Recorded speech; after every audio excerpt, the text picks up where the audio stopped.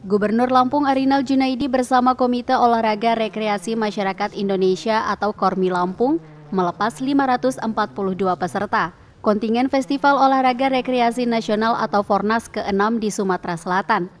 Pelepasan dilakukan di halaman rumah dinas Gubernur Lampung Bandar Lampung pada Jumat 24 Juni 2022.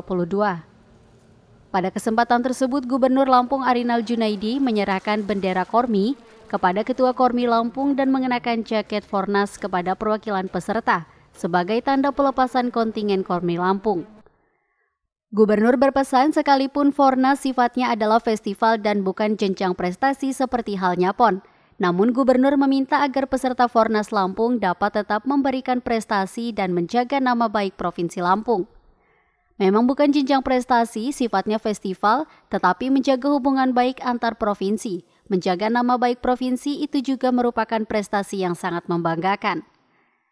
Ia mengatakan dirinya sengaja ingin melakukan pelepasan secara langsung karena ia ingin olahraga ini menjadi media dalam merekatkan rasa persaudaraan. Kemudian gubernur juga berharap agar target lima besar nasional yang ditargetkan Kormi pada ajang Fornas 6 di Sumsel dapat diraih. Semoga olahraga Kormi Provinsi Lampung dapat mengikuti festival olahraga dengan sejuk, aman, dan berprestasi. Oleh karena itu, pada acara ini saya katakan resmi dilepas. Terima kasih atas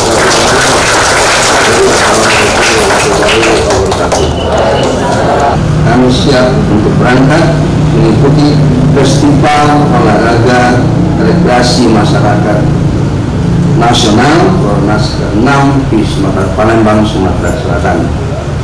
Semoga kami diberikan kesehatan, kekuatan dan kelancaran dalam membawa nama Provinsi Lampung dengan target mencapai lima besar nasional.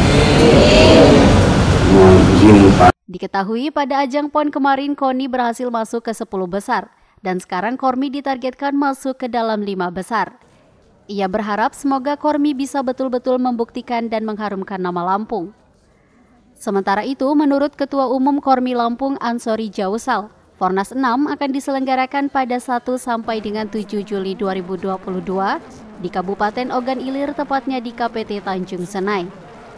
Untuk itu, Kormi mengirimkan 542 peserta kontingen Fornas 6 yang terdiri dari atlet dan ofisial yang rencananya akan mengikuti kompetisi di 36 induk olahraga dari 55 induk olahraga yang dilombakan. Ia juga mengatakan pada kesempatan kali ini Gubernur melepas 542 peserta kontingen Fornas 6. Ia berharap semoga kontingen Provinsi Lampung bisa memberikan yang terbaik dan target lima besar nasional dapat diraih.